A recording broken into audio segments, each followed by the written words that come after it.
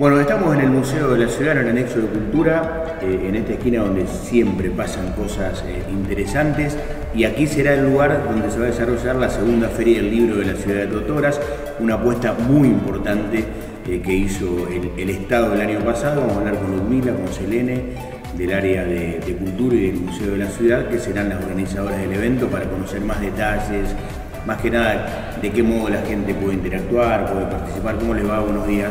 ¿Cómo va Darío? Muy buenos días. ¿Todo bien? Bueno, todo bien, bien. Gracias a ustedes por acercarse, como siempre. ¿Qué es lo que va a pasar concretamente en esta segunda edición? En esta segunda edición, bueno, la Municipalidad de Totoras apuesta nuevamente a poder este, organizar una feria del libro y ahora en equipo este año vamos no solo va a haber stand de editoriales y libreros de la zona este, y de Totoras, sino que va a haber proyecciones de cortometrajes, va a haber presentaciones de libros de autores también, de la región y locales. Este, obras de teatro. Va a haber obras de teatro, actividades para todas las edades. Este, la, intención es que toda la familia tenga propuestas para, para poder pasar tanto a la mañana o a la tarde este, una jornada en familia y también puestas para las escuelas. esa es la intención, de que todos encuentren alguna actividad y puedan disfrutar de la feria. Bueno, y cuando uno ve la fecha del 1 al 4, digamos, cuatro días dedicados a una feria del libro, es porque hay muchas cosas, ¿no? Para sí, hay que distribuir todas las actividades, las propuestas en cuatro días. Eh, por suerte tenemos mucho, a través de la convocatoria que nosotros abrimos a principio de, hará dos meses atrás, se sumaron muchas personas, no solo de acá de Totora, sino que también de la zona para querer participar y eso fue de gran ayuda a la hora de planificar un cronograma. Y lo bueno es que también eh, nos abre el panorama para nosotros brindar actividades, como dijo Ludmi, para todo tipo de edad y eh, todo tipo de actividad.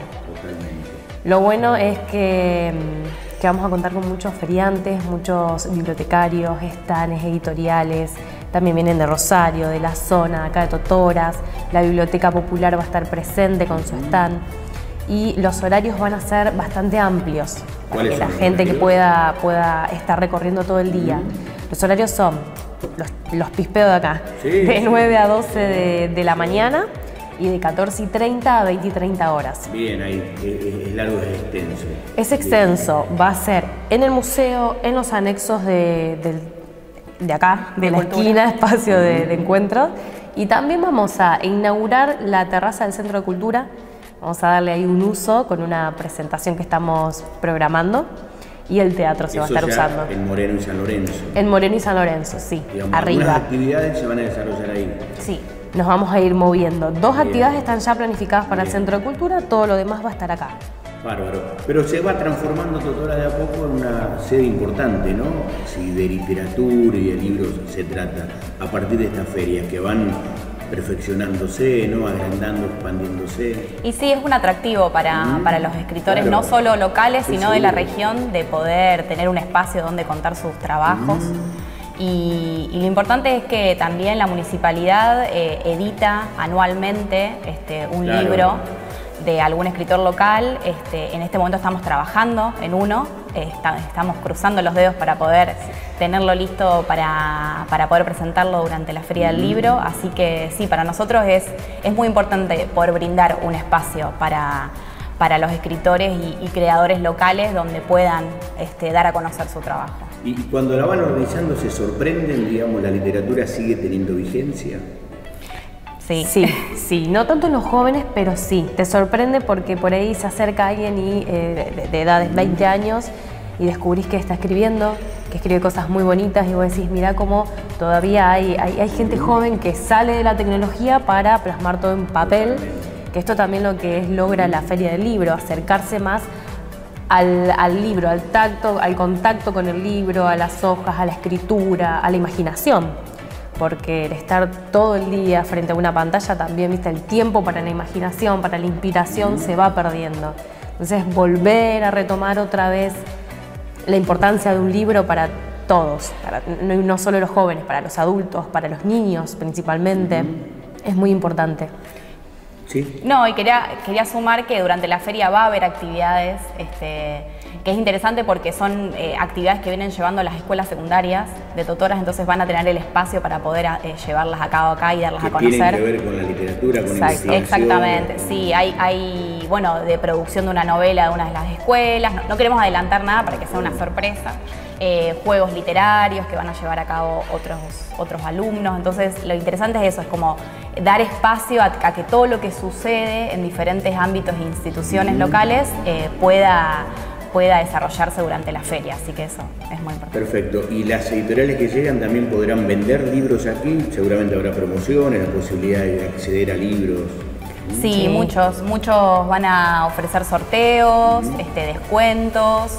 Y claro, la idea es eso, que ellos también puedan difundir parte de, de sus trabajos y no solo eh, hay editoriales, sino también hay librerías con mucha diversidad de títulos, que eso también está, está muy bueno. Digo, también pensaba cuando hablaba de la vigencia de que seguramente las editoriales se empiezan a comunicar con ustedes para participar, ¿no? utilizar esta, esta feria como una herramienta también de difusión, de proyección de todo lo que hacen las editoriales. Sí. Sí, la verdad que eh, generar, eh, digo, vuelvo, a esta idea de, generar espacios donde pueda, donde, donde pueda darse ese encuentro ¿no? también entre los editores y escritores y el público general. Eh, eso, eso no solo digo, despierta más curiosidad, despierta que siga viva, digamos, la literatura local y la literatura regional. Y, creo que también es en el marco de los 40 años de democracia es importante eh, que haya espacios este, donde, donde poder encontrarnos, donde poder debatir, donde poder pensar juntos. Entonces creo que, también es una apuesta, digamos, este, pensarlo, pensar así la feria en ese marco. Ahora en la semana ya empiezan a salir todos los flyers que está haciendo prensa del municipio sobre todas las actividades de manera individual que van a estar surgiendo. Entonces ahí se van a encontrar en las redes sociales estamos haciendo también, lo mostramos, eh, unos afiches para pegar en las escuelas, para pegar, porque la información no solo llega a través de redes sociales, sino que en el papel y en los lugares más concurridos acá en la ciudad. Así que se van a encontrar con estos afiches para que todo, todo el mundo pueda acceder a la información sobre la Feria del Libro.